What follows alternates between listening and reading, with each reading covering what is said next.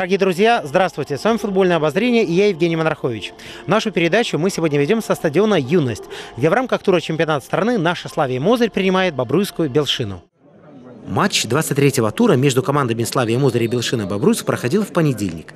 И так как на стадионе «Юность» нет электрического освещения, то начался сей спортивный поединок в 16 часов 30 минут, дабы успеть провести игру при дневном свете. Условия для проведения матча были-то неплохие, но вот зрители, не все из желающих понаблюдать за игрой, смогли прийти на стадион «Юность» в силу занятости на работе. Впрочем, тысяча болельщиков все же игру посетила, и уже по традиции многие из них стали участником акции на матч в цветах команды. На этот раз красный цвет цвет стал цветом Славии Мозырь. Если в теплую пору года майка или другое верхнее одеяние выдавало в болельщике участника конкурса, то на этот раз красная куртка, пальто или кепка шар Славии Мозырь стали тем пропуском, который позволял участвовать в конкурсе от мельницы вкуса. Правда, для некоторых болельщиков никакая осенняя погода не стала препятствием для пребывания на матче в майке, которая, естественно, была такого же цвета, как и у футболистов, поклонником которых является наш собеседник.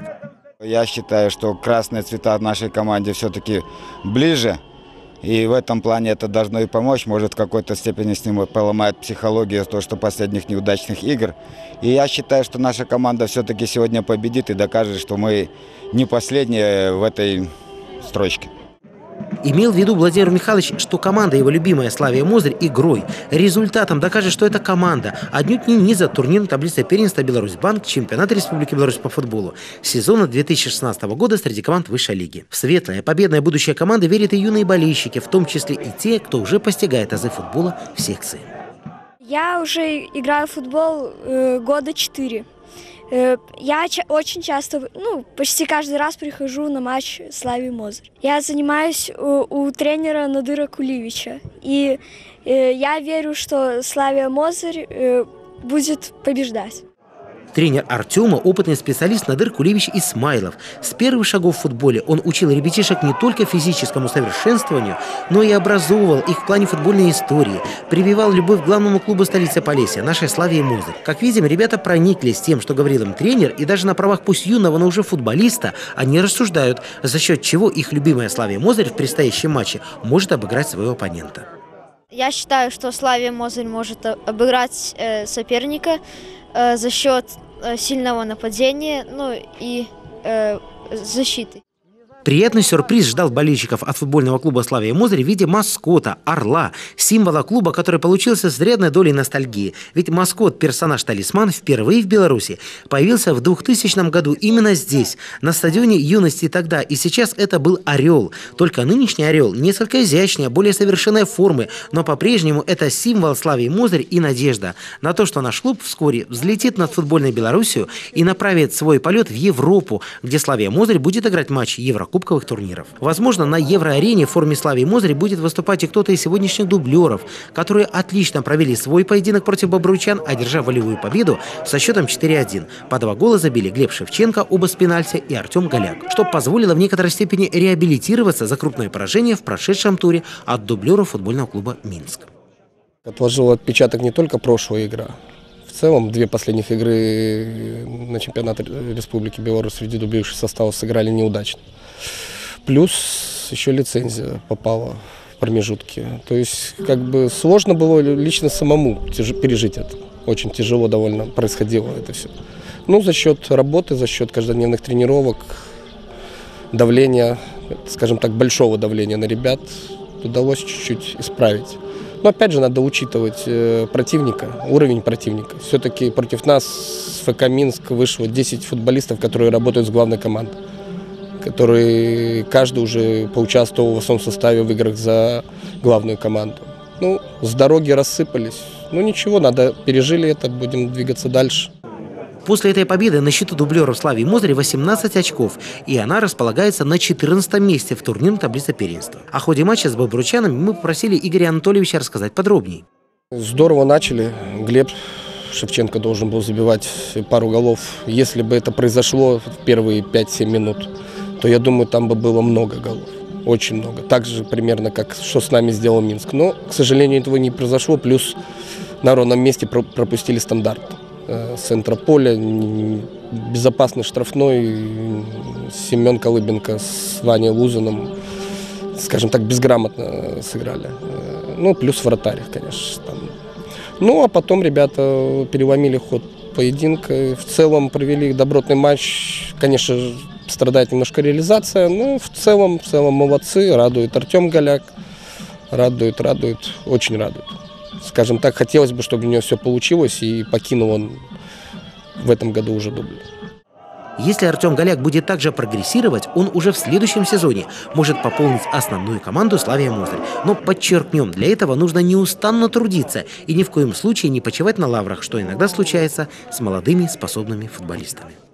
Хочу пожелать ребятам, чтобы ни в коем случае не останавливались и не почитали на лаврах. Э, учитывая современную молодежь, скажем так, им надо поскорее забивать, забывать победы и двигаться дальше. Э, не обращать внимания, что было вчера, а смотреть только в завтрашний день. Завтрашний день мозырского футбола – это юношеский коллектив футбольного клуба «Славия Мозырь», который сегодня играет свои матчи со сверстниками, тоже в многоэтапных турнирах, подобных чемпионату Республики Беларусь. Лицензионные команды уже сыграли 4 тура. Э, лицензия проходит с переменным успехом. Выигрываем, проигрываем. Но только начало чемпионата, я думаю, что в дальнейшем мы исправимся как бы э, есть на это предпосылки. Сегодня в Могилеве э, команда Вячеслава Федоровича выиграла 3-0 у Днепра Могилевского. Э, старшая группа 99 -го года продолжает, счет пока неизвестен, будет позже знать. Результат, к сожалению, оказался неутешительным. Наши ребята уступили. Но не умаляя важности победных матчей, отметим, что главное все же для юношеских команд – рост мастерства. Их задачи следующие. Задача на данный момент перед э, командами лицензирования никаких не стоит, кроме э, дать игроков для дублирующего состава. Что и в принципе мы успешно выполняем. Но у главных профессиональных команд задача непосредственно связана с результатом. И в матче с Белшиной этого самого результата со стороны Славии Мозырь должны были добиваться капитан команды Николай Романюк, Игорь Мальцев, Олег Страханович, Игорь Костров, Владислав Борисенко, Ярослав Шкурко, Владислав Жук, Дмитрий Воробей, Евгений Кунцевич, Денис Ковалевский, Андрей Воронков. И на правах хозяев с первых минут Славия Мозырь начала атаковать. Но и Белшина, четко обороняясь, не забывала о контратаках, которые таили в себе угрозы для ворот нашего клуба. И все же болезнь болельщики надеялись, ждали, верили, что вот-вот их любимцы проведут долгожданный гол ворота соперника, но время шло, а гола не было. Не было в исполнении Славии Мозырь, получился в исполнении Бобруйской Белшины. И вышло это следующим образом. Вот сейчас мы видим, как развивалась атака Славии Мозырь. Кажется, развивалась, но бобруйчане перехватили мяч. Великолепная игра Джабраила Кадиева. Пас на Дмитрия Зиновича и то ли несогласованность защитных действий, то ли Денис Ковалевский находился уже на опорной ноге и не смог препятствовать этому мячу, но гол счет 1-0 в пользу гостей Бобруйской Белшины. И здесь мы отметим как тактическую выучку футболистов Белшины, так и великолепную индивидуальную игру Джабраила Кадиева и, конечно же, завершающая стадия в исполнении Дмитрия Зиновича 0-1. Этот гол несколько обескуражил как аудиторию полицейских болельщиков, так и самих футболистов Славии Мозырь в какой-то степени, но как футболиста профессионала профессионалы, они понимали, что время матча не то время, когда нужно долго досадовать о неудаче, нужно ее забыть и постараться для начала сравнять счет этого матча. Сие, к сожалению, не удавалось, и тренерский штаб Славии Мозырь даже произвел раннюю замену. На 41-й минуте Дмитрий Воробей уступил место на поле Александру Котлерову, но до перерыва счет не изменился. На табло стали все те же 0-1. Пока игроки приводили себя в порядок и получали наставления от наставников, мы обратили свое внимание на вручение призов, которые получали победители конкурсов, что стало добрая традиция домашних матчей Славии Музырь. Символично, что уже не в первый раз пиццу от мельницы вкуса получила мама Глеба Шевченко, Татьяна Анатольевна. Ну что же, будем ждать, что и Глеб будет столь удачлив на поле, как его мама в конкурсах. Кстати, один из призов – кружка с символикой нашего клуба, и пусть с каждым глотком чая или кофе из этой чудной чаши удача приближается к нашему клубу, который может, должен побеждать. Да, я бы был только рад, если она будет побеждать. К сожалению, игра пока разочаровывает. Еще впереди второй тайм. Надеюсь, что Славия все-таки дожмет и выиграет. Честно говоря, нападение нашей команды разочаровывает, потому что из нападения никто не забивает. В основном забивает Ковалевский. Но будем верить в лучшее и надеюсь, что Славия выиграет акции, розыгрыши призов. Насколько это интересно болельщикам? Приобщаются ли они в том числе и таким образом к Славе Мозырь? Нужны ли подобные мероприятия? Да, это достаточно интересно. Хожу с девушкой всегда на футбол. Видим, вот ВКонтакте вылаживают записи, что участвуете в конкурсах. Вот участвуем. Первый раз выиграли. Очень довольны. Приятно было на матче видеть представителей руководства отдела образования, спорта и туризма Мозырского районного исполнительного комитета, которые всей душой переживают за наших футболистов и желают им всего наилучшего. Футболистам же мы всегда желаем победы и только победы. Тем более э, с учетом ситуации в турнирной таблице, каждый матч, э, каждое турнирное очко имеет на вес золота. Поэтому, конечно, с такими командами, как Белшина, особенно в том состоянии, в котором сейчас находится клуб из Бобруйска, мы э, надеемся и даже, наверное, имеем право требовать победу. Футбол, несомненно, стал уже социальным явлением, объединяющим сердца и создающим единую семью из тех же болельщиков Славии Мозырь клуба «Нашей надежды».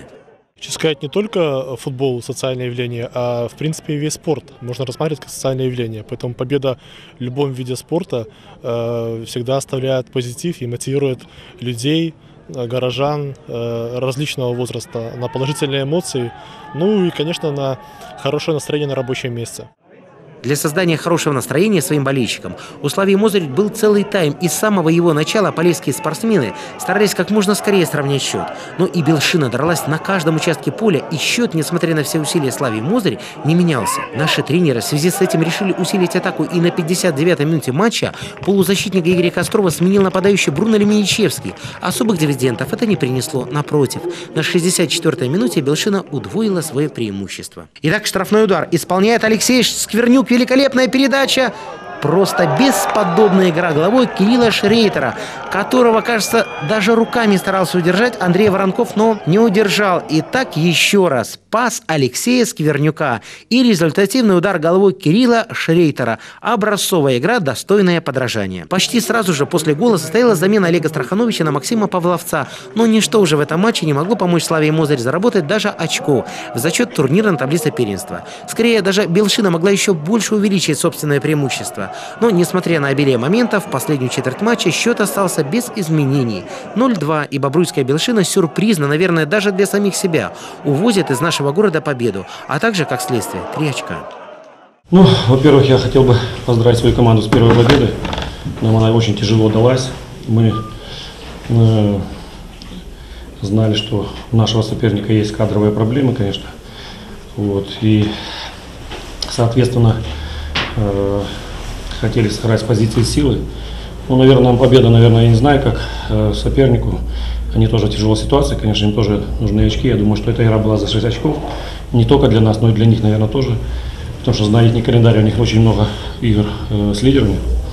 Вот. И э, слава богу, что так получилось. Э, я не сказал бы, что игра какая-то с нашей стороны была очень хорошая, там, но э, было очень много борьбы, были моменты. Слава Богу, что мы забили свои моменты, использовали, и еще некоторые нет. Поэтому тут в каждой игре у нас как бы есть моменты, мы их не используем. Но сегодня, ну, будем говорить так, наверное, нам победа это больше нужна была. Мы забили и довели игру до победного конца. С этого матча началась дисквалификация Юрия Иосифовича Пунтуса. Ему осталось пропустить еще одну игру. И на пресс-конференции о Славе Мозырь перед журналистами выступал помощник Пунтуса Анатолий Евгеньевич Войцехович, который только из уважения к пишущей братья и, наверное, в большей степени регламента участвовал в этой обязательной послематчевой церемонии.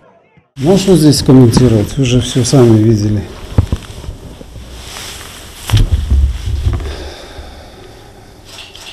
Наверное, Бобруйску было это игра нужнее, конечно, чем нам. Мужики вышли, бились от первой до последней минуты, а у нас ни класса, ни паса. Вот отсюда и результат. Один из журналистских вопросов был о причинах поражения Славии Музырь. Не слабая ли физическая подготовка тому виной? По функциональной подготовке тут вроде бы как бы проблем нету, но психология футболист, она, если хочешь побеждать, надо психологию победителя, ее надо вырабатывать. Ну, видите, значит, мы не победители. Пока не победители. Пока. И тот же Анатолий Евгеньевич Войцехович, главный тренер нашей команды Юрий Иосифович Пунтус, другие члены тренерского, медицинского, административного штабов нашей команды помогут игрокам обрести веру в себя, найдут нужные слова, и этот злочастный спад закончится. Кстати, кроме матча в Мозере, 23-й тур вместил в себя следующие поединки. Слуцк Гранит 0-1, Ислач Неман 0-0, Динамо Минск Румкачи 2-0, Торпеда Белас Минск 0-0, Батэ Нафтан 4-1, Шахтер Витебск 1-0. И здесь отметим гол Дениса Лаптева, воспитанника мозорского футбола. И, наконец, Городея Динамо Брест 1-1. После этого турнир таблица выглядит следующим образом. Лидер и, наверное, обладатель золотых медалей Борисовский Батэ 57 очков. Далее плотная группа команд, которая борется за второе, третье, словом, за призовые места. Ну, середина, как и говорят, золотая середина турнирной таблицы первенства. И к этой середине мы отнесем нашу Славию Мозырь. 11 место и 27 очков. Очень хочется надеяться, что после следующего поединка мы уже не будем говорить о Славе Мозыре как об одной из тех команд, которые борются за выживание высшей лиге. И, кстати, следующий, 24-й тур Славия проведет в Гродно матчем с местным Неманом на центральном стадионе. Начало встречи в 19.00. Кроме этого, 24-й тур вмещает в себя следующие поединки. 30 сентября Крумкачи Слуцк. Днем позже, в первый день октября, Белшина Бобруйс Торпеда Белас, Жодина Гранит Микашевича Нафтан Новополоцк и 2 октября Батэ Борисов Ислач, Динамо Брест Шахтер Солигорск, Витебск, Динамо Минск, Минск Городея. Ну что ж, дорогие друзья, на сегодня это все. К сожалению, Славия Мозырь вновь уступила. На этот раз Бобруйская Белшине, но впереди еще несколько игр чемпионата, и мы верим. Мы надеемся в то, что наша команда докажет э, то, что она умеет играть в футбол, и умеет это делать неплохо. Надеемся, и вы, уважаемые болельщики, не отвернетесь от клуба, еще теснее сплотите свои ряды и поможете Славе Мозырь, в том числе своей поддержкой на трибунах, побеждать. А с вами было футбольное обозрение Евгений Монархович Олег Фиснер. До свидания.